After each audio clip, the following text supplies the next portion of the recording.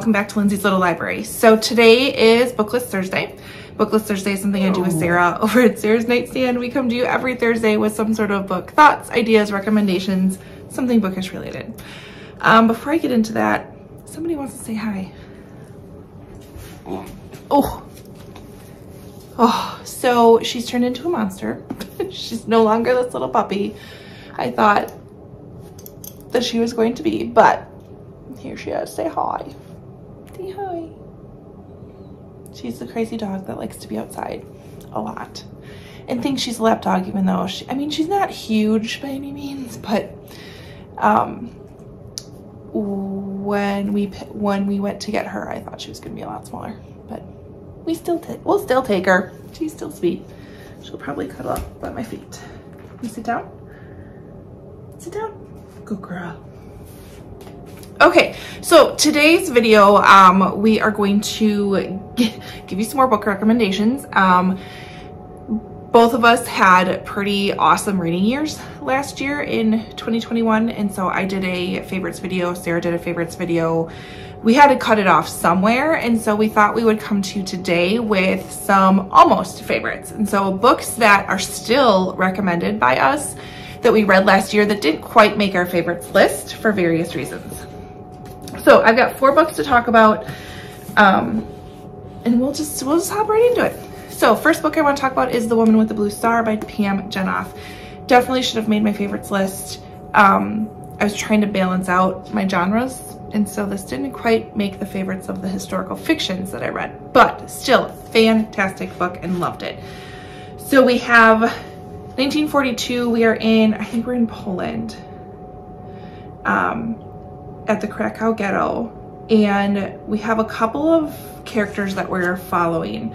So we have Sadie, who's 18. She's living with her parents. And when the ghetto was basically emptied, um, her family took refuge in the sewer systems of that city. And then we follow another character, Ella, who is a Polish girl pretty much kind of living a life at ease. I mean, there's some disruptions, but she's not suffering by any means. And she happens to notice Sadie down in the sewer, um, kind of by accident. And then Ella goes into or starts helping out Sadie and doing her part to, to give them some relief. Um, this is based on a true story. There is a family that that survived the war by living in the sewer. I can't imagine um, what that was. So of course I like stories based on true stories and then I go down rabbit holes and it's fantastic. But I really, really enjoyed this. Pam Jenoff is quickly becoming an auto-buy author for me. So fantastic book. Um, another historical fiction that didn't quite make my list was Yellow Wife by Sadeqa Johnson. Um, this one is Civil War, which one of my goals was to read more Civil War based historical fictions and I did, I read a few of them. So we have our main character Phoebe and she is a slave but has some advantages over other slaves because her father is the owner of the plantation. Um, he does love her and respect her and promises her freedom um, when she, I'm gonna say when she turns 18. But instead of that life, um, She's forced to leave her only home she's ever known, finding herself really thrown into the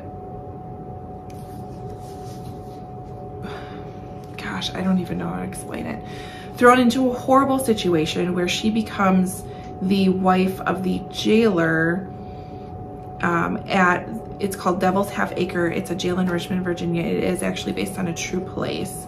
Um, where slaves are broken, tortured, and sold every day. And she has to figure out how to survive this. Um, there are parts that were not, I mean, I think I give it four stars. It's still definitely worth the read. It is still, oh my gosh, there are parts that are hard to read, but I really enjoyed this book. Really enjoyed that book. So that almost made the top of, top of the list. Um, then I have Layla by Colleen Hoover. I know I didn't put her on my top 21 because I still don't know how I feel about this book. I don't even know. So it says love can haunt or heal. So we have Leeds she, and he meets Layla. They fall in love. They're convinced they're spending the rest of their lives together. Um, but a unexpected attack leaves Layla fighting for her life. And after weeks in the hospital, she's physically recovered, but not quite there from a mental state. So Leeds takes her back to where they fell in love, hoping that they could rekindle what was there. Um, and soon Leeds finds solace in another guest at this B&B that he takes Layla back to, Willow, and forms a really interesting connection that could have a direct conflict with what he's trying to help Layla with. I don't even know how else to explain it. Go into it open-minded and then talk to me because I just, I still don't know how I feel about this book. I, I really liked it, yes. Favorite of the year, wasn't quite up there. Um, but I like when Colleen takes different approach to a story and it's definitely different. It was great. The next one I want to talk about is I Let You Go by Clare Mackintosh. Absolutely love this book, but I almost DNF'd it. There was, the, it, it's a slow start. It's a slow start. So basically it's on the premise of, um, we have Jenna Gray.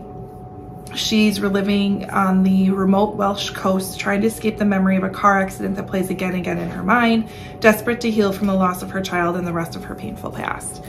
Um, yeah, really, really good. Just stick with it because there was a point where I almost quit and Sarah's like, nope, keep going. And then literally a few pages later, I was like totally invested and really, really loved it. But I couldn't quite put it on my favorites because of that slow start. And then the last book I want to talk about is The Last House on Needless Street, which I don't know where it is. It's, I don't know, did I borrow it to somebody? I'm not even sure.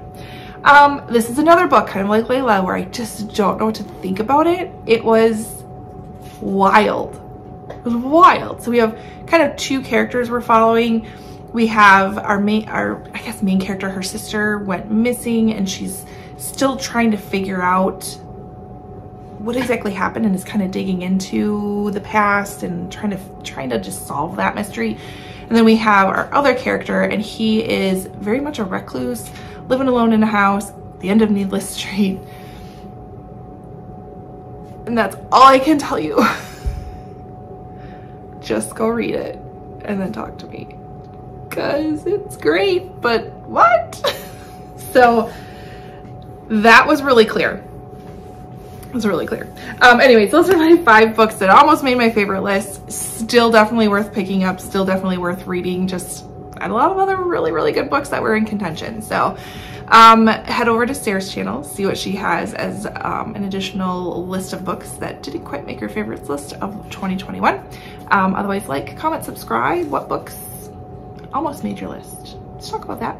Um, otherwise, yeah, all that fun stuff. and we'll see you next time. Bye.